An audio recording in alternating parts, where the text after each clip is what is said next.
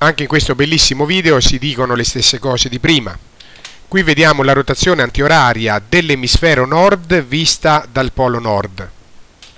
Qua invece vediamo la rotazione oraria dell'emisfero sud vista dal polo sud, Southern eh, Hemisphere. Vediamo che nell'emisfero nord qualsiasi oggetto, le masse d'aria, ma anche gli aerei, eh, tendono sempre a deviare verso la destra rispetto alla loro direzione di moto iniziale, mentre nell'emisfero sud eh, eh, tendono sempre a deviare alla loro sinistra rispetto alla direzione iniziale del moto. Eh, invece di andare in linea retta vanno a sinistra.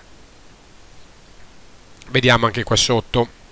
Il video spiega anche che l'unico tipo di movimento che non è influenzato dalla rotazione terrestre è quello che avviene lungo l'equatore, quindi un oggetto che si sposta lungo l'equatore verso est o verso ovest, eh, verso ovest o verso est, non viene disturbato e continua a muoversi lungo l'equatore stesso.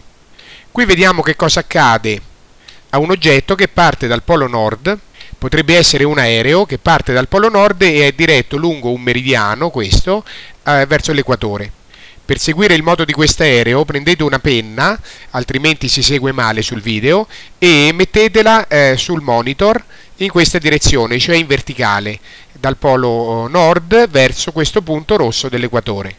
E vedrete che l'aereo segue esattamente questa linea retta. Questo è giusto perché l'aereo che parte dal polo nord non ha una componente di velocità iniziale eh, se non questa di partenza, quindi l'unica componente di velocità è questa qua non ha un'altra componente di velocità iniziale perché, come detto nel video precedente, il polo nord è l'unico punto dell'emisfero eh, nord che non ruota, eh, è l'unico punto che non ha una velocità, è l'unico punto fermo.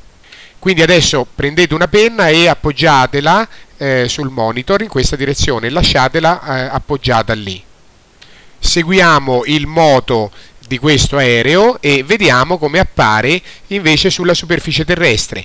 Il moto dell'aereo sulla superficie terrestre appare come questo arco di circonferenza cioè questa curva. In teoria l'aereo avrebbe dovuto raggiungere questo punto rosso all'equatore e in realtà a causa della rotazione terrestre è per così dire rimasto indietro, ha attraversato gli altri meridiani e è finito qua dal punto di vista del pilota, lui ha l'impressione che una forza, la forza di Coriolis, abbia spostato progressivamente la traiettoria del suo aereo verso destra. È una forza apparente, la forza di Coriolis, però i suoi effetti sono reali, perché l'aereo veramente è stato spostato verso destra quando viene eh, guardato dall'interno del sistema di riferimento rotante, cioè viene guardato dal pilota dell'aereo che, eh, che sta camminando o che sta volando radente alla superficie terrestre.